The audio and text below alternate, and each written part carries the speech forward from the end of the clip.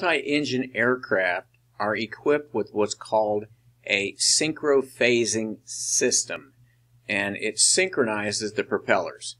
So when you have a twin engine airplane you have two propellers going around and if they get all out of whack it can set up a harmonic. And what that means is as you're flying the airplane as a pilot you hear it go wow wow wow wow and and it'll be it'll be because these propellers are out of phase and there's this noise that goes on and if you're flying the airplane for hours it drives you crazy. Well, the synchrophasing system uses a couple of sensors, RPM sensors located out at each engine. And there's a synchrophasing controller.